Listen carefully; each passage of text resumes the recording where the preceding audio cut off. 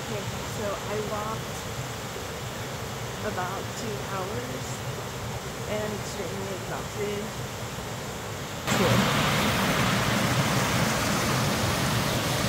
And all those little pools where the people are are natural hot springs.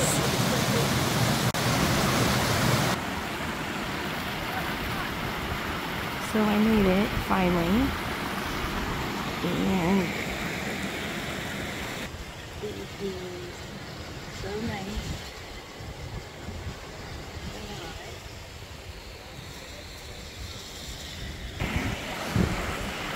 There are probably over a half a dozen pools with different different temperatures.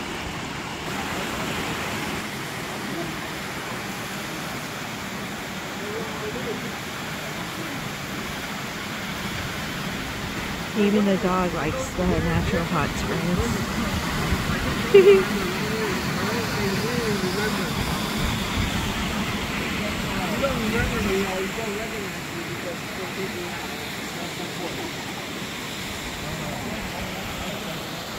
I've done in my life. Okay, so that was absolutely relaxing. Um, it was so worth the. I think it took me about two and a half hours to hike um, to the spot, and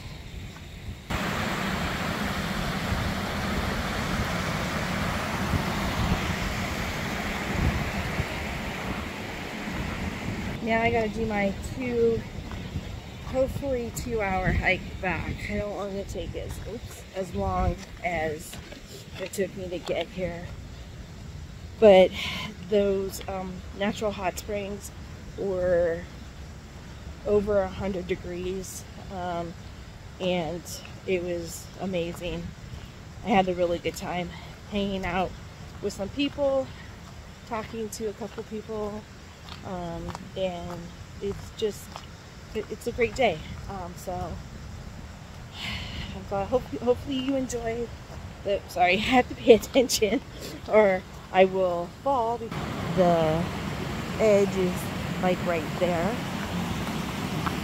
Um, but if you do decide to come, it is well, well worth the hike. Just be prepared because it is a good strenuous hike.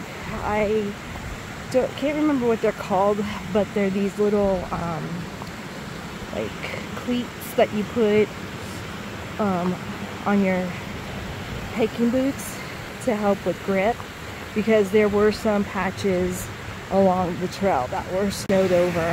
One last thing, if nothing, if the hot springs don't draw you, the natural hot springs don't draw you to this place, the hike and the scenery should. I mean,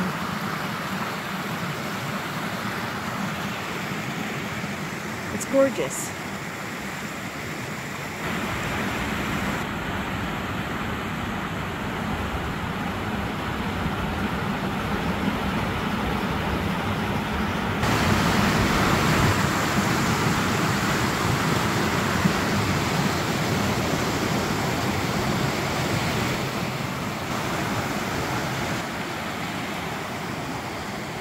This is the trail I've been taking.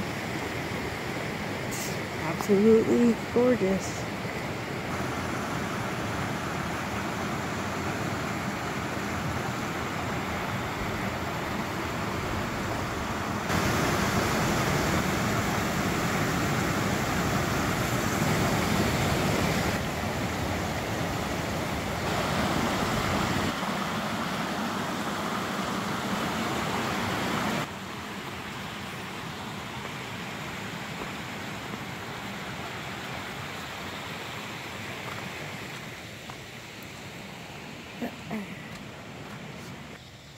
So, I have to say that I'm super lucky to be able to push myself